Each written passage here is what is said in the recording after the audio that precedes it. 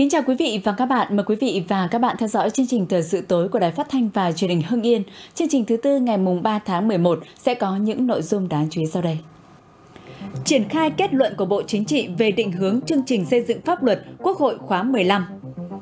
Lần đầu tiên, thành phố Hưng Yên xuất hiện COVID-19 trong cộng đồng. Niềm vui ngày trở về của các y bác sĩ tỉnh Hưng Yên tham gia công tác phòng chống dịch tại các tỉnh. Vai trò của mặt trận Tổ quốc trong xây dựng nông thôn mới kiểu mẫu ở Tiên Lữ. Tỷ lệ đấu nối sử dụng nước sạch toàn tỉnh còn thấp. Cảnh giác với những cuộc gọi có đầu số lạ. Thưa quý vị và các bạn, sáng nay tại nhà Quốc hội, Thường trực Ban Bí thư Ủy ban Thường vụ Quốc hội phối hợp tổ chức hội nghị trực tuyến triển khai thực hiện kết luận của Bộ Chính trị về định hướng chương trình xây dựng pháp luật nhiệm kỳ Quốc hội khóa 15. Dự hội nghị tại điểm cầu tỉnh Hưng Yên có đồng chí Nguyễn Hữu Nghĩa, Ủy viên Ban chấp hành Trung ương Đảng, Bí thư tỉnh ủy, đồng chí Đặng Ngọc Quỳnh, Ủy viên Ban Thường vụ tỉnh ủy, Phó Chủ tịch Thường trực Ủy ban Nhân dân tỉnh, Thường trực Hội đồng Nhân dân tỉnh, các đồng chí trong đoàn đại biểu Quốc hội tỉnh. Phát biểu quán triệt chỉ đạo tại hội nghị, đồng chí Võ Văn Thưởng, Ủy viên Bộ Chính trị, Thường trực Ban Bí thư nhấn mạnh, kết luận số 19 của Bộ Chính trị về định hướng chương trình xây dựng pháp luật nhiệm kỳ Quốc hội khóa 15 là chủ trương quan trọng, là cơ sở để Quốc hội thực hiện tốt chức năng lập pháp trong nhiệm kỳ này, thực hiện thắng lợi các nhiệm vụ phát triển kinh tế xã hội giai đoạn 2021-2025. 12 định hướng phát triển đất nước, 6 nhiệm vụ trọng tâm và 3 đột phá chiến lược đã được Đại hội 13 của Đảng đề ra. Trong quá trình triển khai thực hiện định hướng chương trình xây dựng pháp luật nhiệm kỳ Quốc hội khóa 15, Bộ Chính trị lưu ý việc xây dựng ban hành luật phải thận trọng, chắc chắn, làm tốt từng khâu, đặt yêu cầu cao về chất lượng, không chạy theo số lượng, phải bám sát và kịp thời đáp ứng yêu cầu của thực tiễn. Những vấn đề cấp bách đã chín, đã rõ, được thực tiễn chứng minh có sự thống nhất cao thì mới xây dựng ban hành luật. Những vấn đề tuy cấp bách, cần thiết nhưng là vấn đề mới, chưa đạt đồng thuận cao thì có thể quy định thực hiện thí điểm.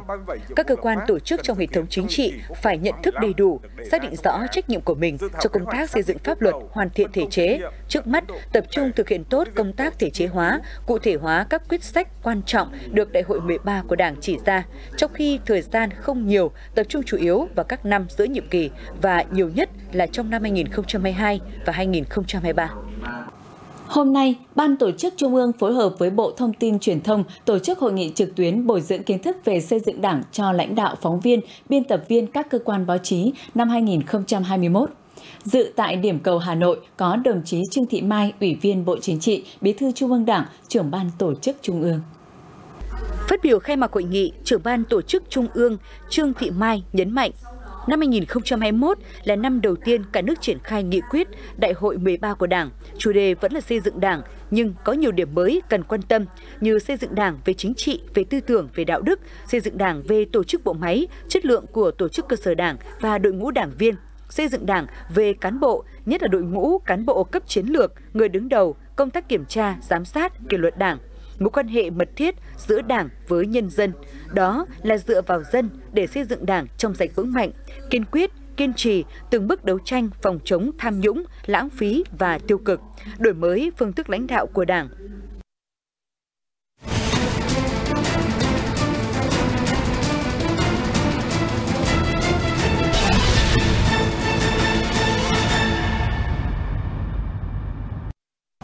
Hôm nay tỉnh Hưng Yên ghi nhận chùm 8 ca bệnh liên quan đến Bệnh viện Đa khoa tỉnh, tất cả đã được kiểm soát. Từ ca bệnh được thành phố Hà Nội thông báo khi đến khám bệnh tại Bệnh viện Bạch Mai, tỉnh Hưng Yên tầm soát được 8 trường hợp dương tính với SARS-CoV-2 có liên quan. Trong đó có 5 trường hợp ở thành phố Hưng Yên liên quan đến F0 là người bán cháo ở cổng chợ gạo. 3 trường hợp ghi nhận tại Bệnh viện Đa khoa tỉnh, không có trường hợp nào là nhân viên y tế. Hôm nay, Trung tâm Kiểm soát Bệnh tật tỉnh lấy mẫu xét nghiệm sàng lọc cho gần 250 người ở chợ gạo, xét nghiệm PCR cho 650 mẫu liên quan đều có kết quả âm tính. Ngay sau khi phát hiện ca mắc COVID-19 trong cộng đồng tại phường An Tảo, thành phố Hưng Yên, lực lượng chức năng của thành phố đã tiến hành phong tỏa một số hộ dân và truy vết giả soát các trường hợp liên quan. Ngày 3 tháng 11, trên địa bàn thành phố Hưng Yên ghi nhận 3 ca dương tính với SARS-CoV-2 đầu tiên cho cộng đồng, trong đó có 2 ca tại phường An Tảo, 1 ca tại xã Hồng Nam. Ngay sau khi tiếp nhận thông tin trên, thành phố Hưng Yên đã triển khai ngay họp ban chỉ đạo phòng chống dịch bệnh COVID-19 các cấp, truy vết, lấy mẫu PCR xét nghiệm toàn bộ người dân, khu dân cư liên quan và tiểu thương tại chợ gạo được trên 600 mẫu. Đây là các biện pháp cấp bách mà Trung tâm Kiểm soát Bệnh tật tỉnh và thành phố Hưng Yên triển khai sàng lọc và ngăn chặn dịch bệnh. Ban chỉ đạo thành phố đã triển khai ngay các biện pháp phòng chống dịch, phát các tờ khai y tế để cho toàn bộ gia đình khai báo y tế, chỉ đạo cho các cháu lớp 1 ờ, của trường ờ, tiểu học An Tảo tạm thời nghỉ học ngay từ chiều nay, ờ, đưa toàn bộ những người F1 sẽ đi cách ly tập trung, F2 thì sẽ cách ly tại nhà. Cùng với triển khai công tác trên, thành phố đã chỉ đạo các địa phương phun hóa chất khử trùng tiêu độc, thiết lập vùng cách ly phòng chống dịch COVID-19 tại ba khu vực ngõ 335, 347 Lê Văn Lương và ngõ 06 Phùng Trí Kiên của phường An Tảo với trên 300 nhân khẩu từ 7 giờ ngày 3 tháng 11 đến khi có thông báo mới. Trong thời gian phong tỏa thì phường đảm bảo cuộc sống của bà con và đặc biệt là các hộ gia đình chính sách cũng như là người già, bệnh nền và các trẻ em có nhu cầu thì chúng tôi phải ưu tiên tối đa 100% không để các trường hợp nào không có ăn hoặc là thiếu ăn trong cái thời gian phong tỏa. Cử đoàn thể tổ truy vết cộng đồng của khu phố chợ gạo kích ứng kích hoạt trực ở khu phong tỏa này và đề nghị các hộ nhân dân cho số điện thoại phường sẽ đi chợ hộ nếu như bà con nhân dân có nhu cầu. Thành phố Hưng Yên đã giả soát được 68 trường hợp F1, 16 trường hợp F2. Hiện địa phương đang tiếp tục giả soát và truy vết các trường hợp liên quan. Thưa quý vị và các bạn, hơn 2 tháng trùm kín bộ đồ bảo hộ chục tiếng đồng hồ mỗi ngày từ khi trời nắng gắt đến lúc đổ mưa rông hơn 2 tháng đặt tính mạng của bệnh nhân trên cả sức khỏe bản thân và gia đình. Với sự nỗ lực và quyết tâm cao của cả hệ thống chính trị, dịch bệnh COVID-19 trong các tỉnh phía Nam đã được khống chế và đẩy lùi. Đây là lúc các y bác sĩ của tỉnh Hưng Yên tăng cường vào Nam chống dịch được trở về nhà. Câu chuyện niềm vui ngày trở về ngay sau đây sẽ cho mỗi chúng ta hiểu hơn về những hy sinh thầm lặng của các chiến sĩ áo trắng. Cởi bỏ bộ đồ bảo hộ, các y bác sĩ lại trở về là những người cha, người mẹ, người anh, người chị, người con đáng tự hào của gia đình. Ai nấy một nỗi mong mỏi được trở về. Trở về trong sự chào đón, niềm vui hân hoan của cả gia đình. Nhưng những ngày tháng tham gia chống dịch tại Bệnh viện Đa khoa khu vực Long Thành, tỉnh Đồng Nai sẽ luôn là những kỷ niệm đáng nhớ đối với điều dưỡng Nguyễn Văn Phong. Thời gian đầu cũng như rất nhiều cái khắc nghiệt rồi đến nguy cơ lây nhiễm nhưng cũng rất hoang mang nhưng tất cả anh em cũng bạn bè đồng nghiệp thì cũng tự động viên nhau ăn cùng nhau chúng ta cố gắng đẩy lùi càng sớm càng tốt thì chúng ta sẽ sớm được về với gia đình để lại sau lưng người vợ trẻ, đứa con thơ dại mới chỉ 2 tuổi. Để lại sau lưng người cha già phải thường xuyên chạy thận, người mẹ tần tảo và người bà đôn hậu. Điều dưỡng Nguyễn Văn Phong mang theo tinh thần quyết tâm và miền Nam tham gia vào đội ngũ y bác sĩ tuyến đầu chống dịch. Ờ, tôi ờ, tự cân bằng lại cuộc sống và nghĩ đến ngày mà chồng mình sẽ về và uh, đó cũng là một niềm tự hào và uh, sẽ là một cái sự cố gắng của bản thân cũng như là của uh, gia đình tôi ạ. Cũng giống như gia đình anh Phong, khi nghe thông tin con gái xung phong vào Nam chống dịch, bà Đào Thị Bắc cũng ngổn ngang những nỗi niềm lo lắng. Cháu gọi điện từ bệnh viện về là tôi nghe thấy là tôi cũng thấy rất là rất là choáng người ta đây ra chả được gây con thì đi vào ngay khi đặt chân đến Đồng Nai, bác sĩ Nguyễn Thị Xuân đã được phân công về Bệnh viện Đa khoa Long Thành, tỉnh Đồng Nai. Tại đây, chị được nhận nhiệm vụ chăm sóc những bệnh nhân nặng. Những ngày tháng công tác tại đây sẽ là những kỷ niệm khó quên đối với chị là hàng ngày đọc tin tức, là có hàng ngàn ca nhiễm bệnh và rất nhiều ca tử vong tăng lên, thì cái thông tin đấy cũng thực sự rất gây choáng. Tuy nhiên, đi vào thực tế thì chúng tôi mới càng cảm nhận được cái nghiêm trọng của cái dịch bệnh. Thật ra là mọi người trong cùng một kíp sẽ có đến từ rất nhiều vùng miền. Khi đã là làm việc thì tất cả mọi người đều mặc đồ bảo hộ rất kín, nhận biết qua nhau chỉ qua những cái tên trên ờ, viết trên bộ đồ bảo hộ thôi và gần như trao đổi qua ánh mắt và những hành động cụ thể, chứ không được nhìn thấy mặt nhau trực tiếp.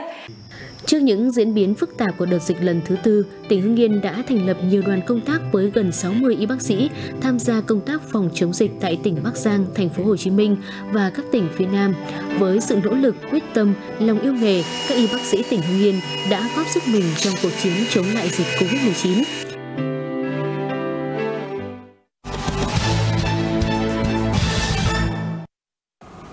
Trên cơ sở những kết quả đạt được trong xây dựng nông thôn mới thời gian qua bằng nhiều hình thức đa dạng phong phú, Mặt trận Tổ quốc các cấp trên địa bàn huyện Tiên Lữ đã đẩy mạnh hoạt động tuyên truyền vận động nhân dân, duy trì tiếp tục thực hiện các phong trào hướng tới xây dựng nông thôn mới kiểu mẫu. Tại thôn Hải Yến, xã Hải Triều, trước đây con đường này ô tô con đi vào rất khó, nhưng đến nay chiều rộng của đường được mở rộng từ 2 m lên 4 m, xe cộ đi lại thuận tiện, người dân không chỉ tình nguyện hiến đất làm đường mà còn tự nguyện đóng góp để lắp đặt các cột đèn cao áp, giúp thắp sáng những con đường quê. Mặt trận Tổ quốc trong thời gian vừa qua đã làm tốt công tác tuyên truyền cho cán bộ hội viên và đặc biệt là nhân dân hiểu được cái kế hoạch và đồng thuận đào tạo cái điều kiện hỗ trợ cùng địa phương trong quá trình xây dựng và nâng cấp một số các cái tiêu chí để nông thôn mới kiểu mẫu đạt được. Một địa phương khác của huyện Tiên Lữ đang tích cực xây dựng nông thôn mới kiểu mẫu là xã Dị Chế. Theo kế hoạch, xã đặt mục tiêu đến năm 2023 sẽ về đích nông thôn mới kiểu mẫu. Mặt trận Tổ quốc thì đã phối hợp tốt với cả các thành viên trong cái việc tuyên truyền đặc biệt là vận động nhân dân hiến đất để mở rộng các tuyến đường và cũng như là Ờ, vận động nhân dân ờ, chung tay xây dựng một số các tiêu chí đây là hai trong năm địa phương của huyện Tiên Lữ đang phấn đấu hoàn thành các tiêu chí của xây dựng nông thôn mới kiểu mẫu. Trong quá trình thực hiện, mặt trận Tổ quốc các cấp trên địa bàn huyện đã phối hợp với các cấp ủy, chính quyền và các hội đoàn thể huy động nhân dân đóng góp ngày công lao động, tự nguyện hiến đất, giải tỏa cây cối, giải phóng mặt bằng để thi công các công trình giao thông, phúc lợi xã hội dưới sự lãnh đạo của cấp ủy chính quyền, sự tham gia hưởng ứng thực hiện của Ủy ban Mặt trận Tổ quốc Việt Nam, các ban ngành đoàn thể, các cấp trên địa bàn huyện Tiên Lữ, chương trình mục tiêu quốc gia xây dựng nông thôn mới, đặc biệt là nông thôn mới kiểu mẫu đã, đang và sẽ đạt được những kết quả quan trọng, tạo sự chuyển biến và phát triển mạnh mẽ trên các lĩnh vực kinh tế xã hội qua đó khẳng định và từng bước nâng cao vai trò, uy tín của mặt trận Tổ quốc và các tổ chức chính trị xã hội trong thời kỳ mới. Thực hiện chương trình mục tiêu quốc gia về nước sạch và vệ sinh môi trường, những năm gần đây chương trình cấp nước sạch tỉnh Hưng Yên đã được quan tâm đầu tư trọng điểm. Tuy nhiên, hiện nay tỷ lệ các hộ dân đấu nối sử dụng nước sạch vẫn đạt thấp so với mục tiêu đề ra và so với hệ thống mạng đường ống cấp nước dịch vụ đã được triển khai trên toàn tỉnh. Toàn tỉnh hiện có 44 dự án cấp nước sạch đang hoạt động, trong đó có 21 hệ thống sử dụng nguồn nước mặt sông Hồng và sông Luộc. Chất lượng nước cơ bản đạt chất lượng theo tiêu chuẩn, công tác nội kiểm và ngoại kiểm được tiến hành định kỳ theo quy định. Tại các xã có dự án cấp nước đang hoạt động, tỷ lệ đường ống cấp nước dịch vụ đạt trên 95%. Tuy nhiên, tỷ lệ đấu nối đồng hồ sử dụng nước toàn tỉnh mới đạt trung bình 67,5%, tương đương với 227.000 hộ dân.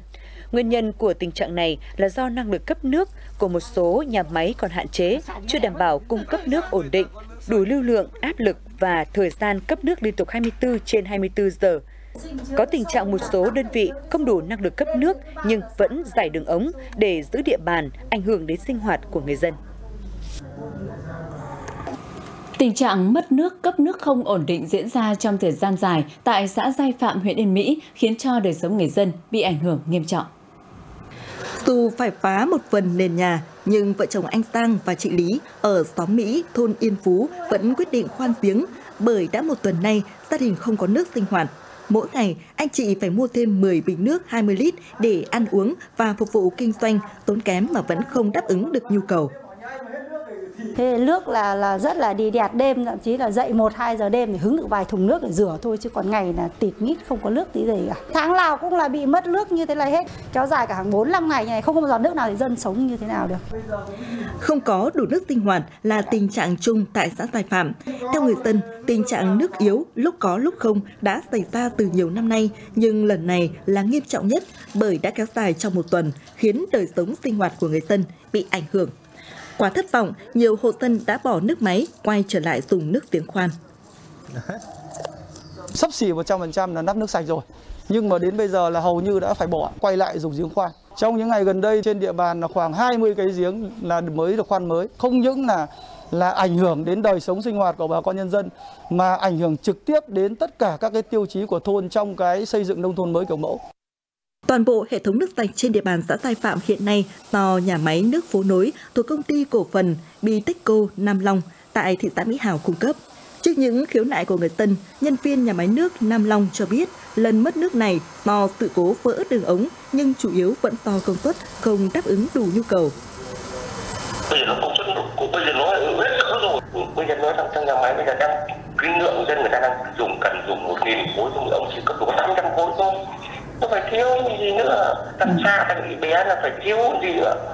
Ủy ban nhân dân xã Giải Phạm khẳng định tình trạng cấp nước không ổn định đã diễn ra trong nhiều năm. Xã đã nhiều lần làm việc với đơn vị cấp nước nhưng không thể giải quyết dứt điểm do không đủ thẩm quyền. Năm 2020 thì đối với Sở Nông nghiệp cũng đã có thành lập ờ, đoàn kiểm tra liên ngành. Kết luận thì trên địa bàn xã Giải Phạm thì sẽ một phần được cung cấp nước của nhà máy Nam Long, một phần là do nhà máy nước Yên Mỹ cung cấp ừ, thế nhưng mà do nhà máy nước Lam Long thì đã đầu tư xây dựng cơ sở hạ tầng ờ, trên toàn bộ địa phận xã Phạm. Do vậy thì đối với Sở Nông nghiệp cũng đã nhất trí là điều chỉnh cái việc mà phân bổ hệ thống cấp nước là giao cho nhà máy nước Lam Long là cung cấp toàn bộ hệ thống nước trên địa bàn xã Phạm. Có thể thấy bất cập nằm ở khâu phân vùng cấp nước, trong khi doanh nghiệp bị Techco Nam Long không đủ năng lực cấp nước cho người dân xã Giai Phạm nhưng vẫn cố giữ sân, các đơn vị đủ khả năng lại không được phép cấp nước. Đề nghị các ngành chức năng sớm vào cuộc tham mưu cho tỉnh giải quyết dứt điểm tình trạng này.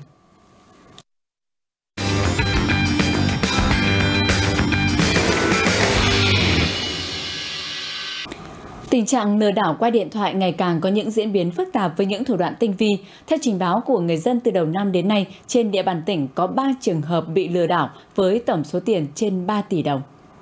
Đối tượng tội phạm sử dụng cái à, các cái ứng dụng mà tạo số điện thoại ảo ấy thì người ta có thể tạo ra cái đầu số điện thoại đấy là có thể là dùng số của quốc tế, kể cả số của Việt Nam hoặc là không có một của một quốc gia nào luôn. Truy vết thì rất khó. Đấy, kể cả các cái đầu số điện thoại của chính các nhà mạng viễn thông. Ngoài ra thì người ta cũng gọi điện thoại miễn phí trên trên internet. Đi qua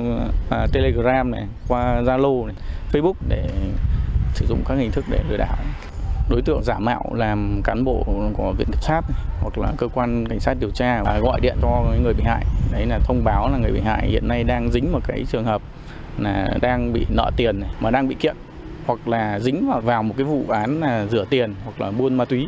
và người ta cái đối tượng đấy sẵn sàng người ta còn gửi luôn cho cho người bị hại kể cả là cái quyết định khởi tố để cho người bị hại tin tưởng. Với những phương thức lừa đảo trên, vào tháng 6 năm 2021, một trường hợp trú tại khu đô thị của Bắc huyện Văn Giang sau khi nhận cuộc gọi từ những số điện thoại lạ và nhẹ dạ cả tin cung cấp những thông tin cá nhân liên quan đến tài khoản mở tại ngân hàng như tên đăng nhập, mật khẩu, mã OTP, giao dịch trên ứng dụng. Thì ngay sau đó người này phát hiện số tiền 3 tỷ 90 triệu đồng đã bị chuyển sang các số tài khoản khác. Vào tháng 8 năm 2021, có một trường hợp trú tại xã Long Hưng, huyện Văn Giang cũng bị đối tượng lừa đảo chiếm đoạt hơn 300 triệu đồng. Trên thực tế, có không ít trường hợp trên địa bàn tỉnh đã từng trở thành nạn nhân của hình thức lừa đảo trên, song do tâm lý e ngại nên không trình báo cơ quan điều tra. Mới đây, Cục Viễn thông Bộ Thông tin và Truyền thông cũng đã yêu cầu các nhà mạng triển khai gửi tin nhắn để cảnh báo khách hàng đang nhận cuộc gọi từ quốc tế, cảnh báo khách hàng không chuyển tiền hoặc cung cấp thông tin cá nhân cho người lạ qua điện thoại. Theo Cục Viễn thông, các cuộc gọi tin nhắn từ quốc tế về sẽ hiển thị dấu cộng hoặc 00 ở đầu và hai số tiếp theo không phải là 84 mã nước Việt Nam. Đối với các cuộc gọi giả danh công an, viện kiểm sát, ngân hàng hoặc thông báo có quà từ bưu điện, người dùng tuyệt đối không thực hiện bất cứ yêu cầu nào. Trong trường hợp này, người dùng cần tắt máy ngay và trình báo ngay cho cơ quan công an để xử lý. Đối với các cuộc gọi nháy máy từ số quốc tế, Cục Viễn thông khuyến cáo người dùng không nên gọi lại, chỉ nên gọi lại khi biết chắc chắn đó là số điện thoại của người thân ở nước ngoài. Cảnh giác ở mức tối đa đối với các cuộc gọi đến từ số điện thoại lạ và cũng theo Cục Viễn thông. Tính từ tháng 7 năm 2020 đến tháng 9 năm 2021, các nhà mạng đã ngăn chặn hơn 74 triệu cuộc gọi giả mạo giúp bảo đảm an toàn an ninh và trật tự xã hội. Chiều ngày 1 tháng 11, Công an xã Long Hưng, huyện Văn Giang đã tổ chức ra mắt mô hình và cho đi vào hoạt động hệ thống camera giám sát đảm bảo an ninh trật tự và tổ tự quản về an ninh trật tự. Mô hình hệ thống camera giám sát đảm bảo an ninh trật tự trên địa bàn xã với 190 mắt camera, ba loa phóng thanh được lắp đặt đồng bộ trên các tuyến giao thông trọng điểm, địa bàn phức tạp về trật tự công cộng của xã, bố trí màn hình chính tại phòng làm việc của công an xã. Đây là mô hình hệ thống camera giám sát an ninh cấp xã đầu tiên được triển khai trên địa bàn huyện Văn Giang. Bên cạnh đó, tổ tự quản an ninh trật tự xã Long Hưng được thành lập với 8 thành viên. Đây là tổ tự quản về an ninh trật tự thứ hai trên địa bàn tỉnh được thành lập, thực hiện nhiệm vụ tuyên truyền, phòng ngừa, phối hợp xử lý các vi phạm về an ninh trật tự trên địa bàn xã và là cánh tay nối dài giúp cấp ủy, chính quyền và lực lượng công an xã Long Hưng đảm bảo tình hình an ninh trật tự trên địa bàn xã. Quý vị và các bạn thân mến, chương trình thời sự hôm nay của Đài Phát thanh và Truyền hình Hưng Yên xin được khép lại tại đây. Quý vị và các bạn có thể xem lại các chương trình trên nền tảng số Hưng Yên TV Go, website hưng-yên-tv.vn, fanpage tin tức Hưng Yên 24 trên 7 gạch ngang HITV. Còn bây giờ, mời quý vị và các bạn cùng đến với bản tin quốc tế.